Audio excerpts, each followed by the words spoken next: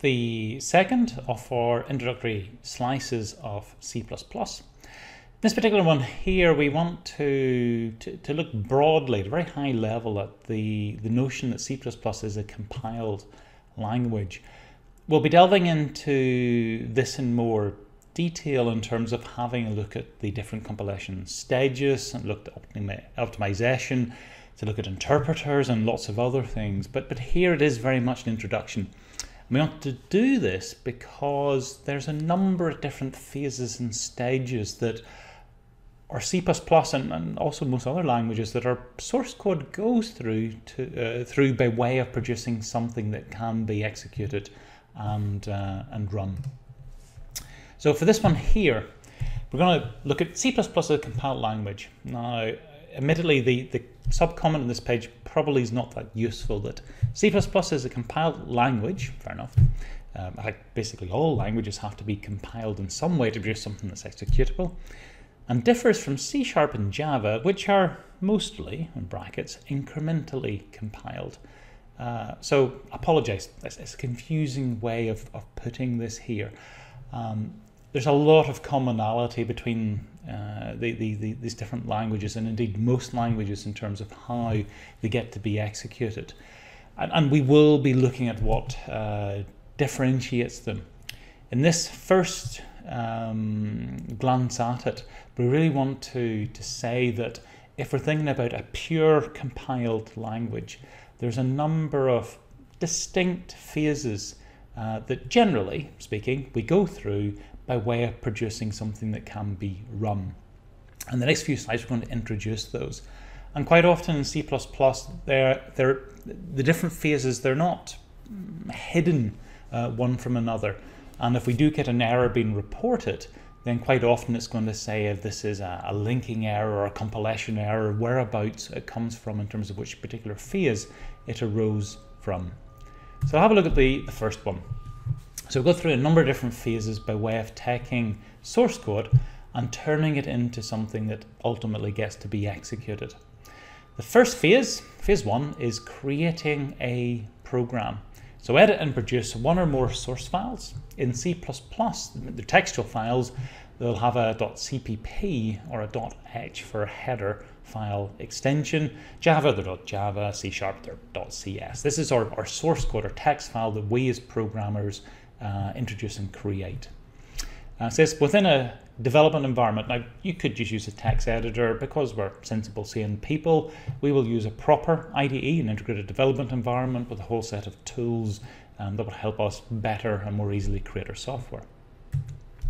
So once we have created our source code, the second phase is then pre-processing. So this happens just prior to compilation occurring. And you say here, the preprocessor applies directives. So we have preprocessor directives.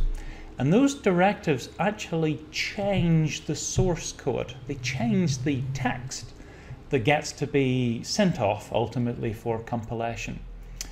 Preprocessor directives easily identified. They start with a hash. So you can see a few here, if hash include, if hash not define, and so on. And you have these directives uh, within Java and C Sharp as well.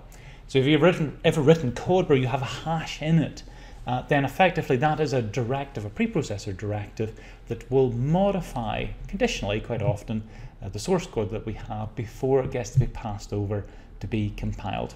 And we'll have a look at those as we go through. Phase three then is compilation proper.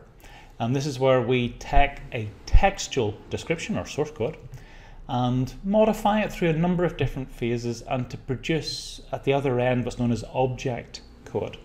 Uh, object code mm, can be machine instructions or very, very close to machine instructions. Or in terms of languages like Java or C Sharp, where you're producing bytecode or an intermediate language, it's, it's kind of virtual machine code. But at this level, we've turned our textual description into something that is down at the level of machine instructions.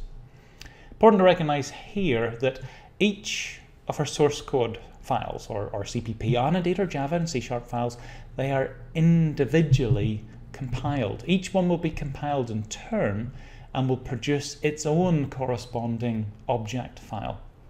And that's going to introduce some of the challenges within C++ because it is very much standalone and, and, we will have to actually work if we want to pull in information from other files. In Java and C Sharp, it's, it's better done in, terms of making it more easy and more convenient for the programmer to have um, a collection of source files sit alongside one another. Uh, but in C++, we're going to have to do it explicitly. Okay, so once we finish the compilation phase, still a few more phases to go, phase four then is linking. Um, probably, it's been a reasonably big project. with a number of CPP files.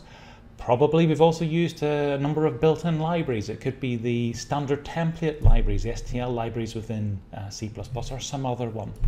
Um, but during the linkage phase, our goal is to take all of these different compiled units, all of the object files, and to package them all up together into a single whole. And this will be our executable, runnable program.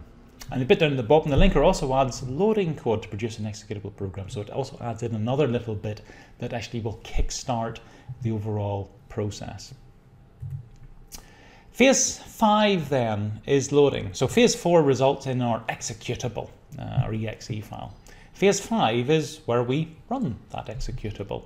Now you might think I'm running my program, but actually what gets to be run first of all is a small loader program. And it's really there to sort of bootstrap things. It, it, it loads in a sufficient amount of your code, the code that we've written, and puts it into memory. Uh, so it's a loader. Um, whenever it's got a sufficient amount loaded in, it then goes to your program and says, okay, off you go, you can now commence execution. And phase six is actual execution itself, where our program does whatever we want our program to do. So those are the different phases that we go through. Um, now, I want to tease out one aspect here, and this was tying into the compilation phase, um, that each of our source files are independently pre-processed and compiled and produce their own object code. As opposed to all of the things being compiled together and then all stuck together at the same time. There's benefits to doing this. Uh, one of the major benefits is that if we have a large project and we change one of the files, then we only have to recompile that file to get a new object file for it, and then to relink it in with all of the other compiled files. So it's a much more efficient way of doing it. As mentioned earlier on, in other languages like Java and C Sharp, the fact that we have a multitude of files isn't necessarily uh, much of a concern to the programmer. So a lot of the tools actually handle how they can be combined uh, together. So in conclusion uh, then, um, by way of this introductory slice, just simply want to get across that C++ is a compiled language, but when we say that, what we mean is that it is separated up into a number of distinct phases. And these phases, um, as mentioned, are quite visible within C++. We'll, we'll have a reasonable amount of control over them. When errors occur, it'll identify the phase, uh, most commonly within which they occurred, and it's going to be up to them to think about well what happens in that phase to to work out what uh, the actual error uh, is.